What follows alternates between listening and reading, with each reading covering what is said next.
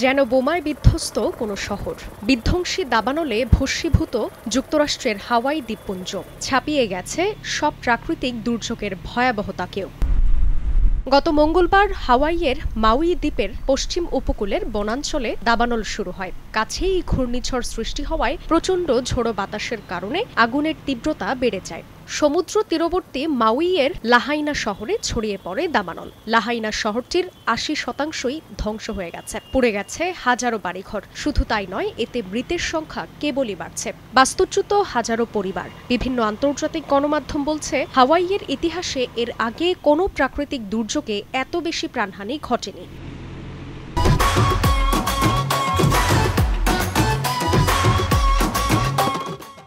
দাবানলের ব্যাপারে স্থানীয় বাসিন্দাদের আগেভাগে সতর্ক করা হয়েছিল কিনা তা নিয়ে উঠেছে প্রশ্ন। উদ্ধার কাজের সহায়তাকারী দমকল কর্মীরা বলছেন, যথাসময়ে বাসিন্দাদের নিরাপদে সরে যাওয়ার পরামর্শ দেয়া হয়নি বলেই এত মানুষ মারা গেছেন। এর আগে হাওয়াইয়ের বিগ আইল্যান্ডে উনিশশো ষাট সালে আঘাত হানা ভয়াবহ সুনামিতে একষট্টি জনের মৃত্যু হয়েছিল।